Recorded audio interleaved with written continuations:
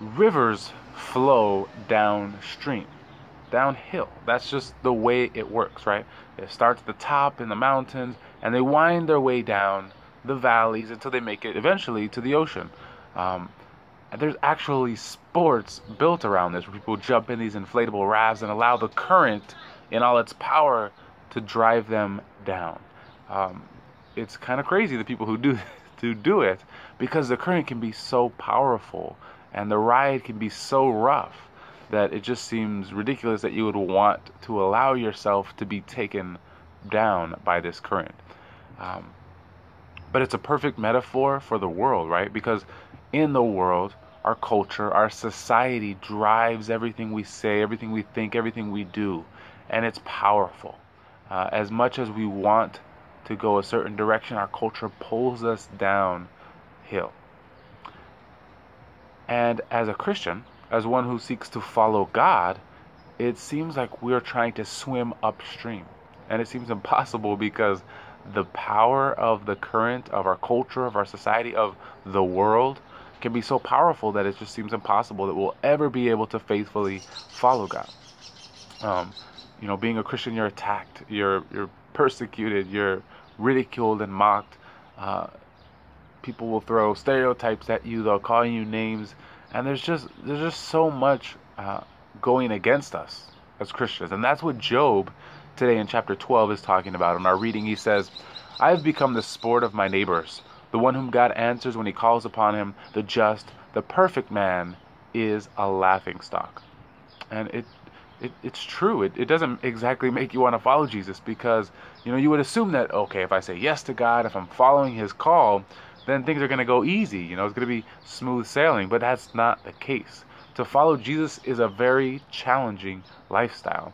And Jesus even talks about, you know, it's a narrow, the narrow path because um, the way that most people follow the, the comfortable way, the easy way, is to just kind of let that current take you. But to be a Christian is to go against that, to go against the current, to swim upstream. Think of the salmon, right? The salmon, um, they're famous for the way that they every year make their way from the salt waters of the ocean back up the rivers, all the way up into the mountains, where they will breed and have their family. And it's amazing to watch how they overcome all these obstacles, how they continue to battle that current, um, face you know other predators. The bears that are just waking up from hibernation are hungry, and they're you know out there just waiting for the salmon to swim by so they can rip them out of the water and snack on them for lunch. That's that's the life of a Christian, right? It doesn't sound very appealing, but that's how it is, right? We're swimming upstream. We're going against all these forces especially the, the, the, the, current of the world. Um, Jesus says this, though, and he warns us. A lot of people, you know, like I said, they have this misconception oh, if I be a Christian, if I follow Jesus, everything's going to be easy, everything's going to be smooth sailing. But Jesus says this. In Matthew 10, he says, You will be hated by all because of my name, but whoever endures to the end will be saved. He says again in, in John 15, he says, If the world hates you, realize it hated me first. So that's our warning. That's you know we have to know that of course to be Christian to follow Jesus, we're gonna face challenges. We're going to face uh, hatred, uh, and that's what that's what Jesus says. So they're not uh, they're not very inspiring words. It doesn't make you want to say, okay, Jesus, let's do this. It doesn't make you feel that way. But most often we think uh, uh about following God. We think smooth sailing, life is easy.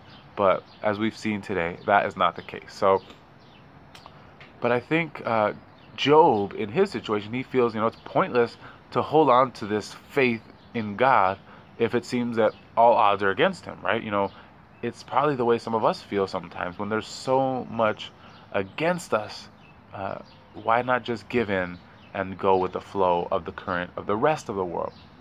Well, Jesus has some other very important words, and these words are more inspiring uh, and more, uh, they, they give us hope and he says in this his Sermon on the Mount, the famous scene where he's up on the mountain and he's preaching to this enormous crowd of people. He said, "Blessed are you when they insult you and persecute you and utter every kind of evil against you falsely because of me. Rejoice and be glad, for your reward will be great in heaven." So think about it. Jesus dealt with the same problem, right? He dealt with all these same attacks that we face, yet he continued swimming upstream. That's what's, that's what's so radical about Jesus. He went against the current and he didn't allow the power of the world to take hold of him. So we've got to find hope in his example, but also hope in his message. We've got to trust that what Jesus says is true and that he's faithful to his promise because that is a promise. He says, Rejoice and be glad, for your reward will be great in heaven. So that's a promise. Sounds like a promise to me, and we got to trust that Jesus will be faithful to his promise. I'm Ricky Jones of Leaders That Follow. Have a blessed day.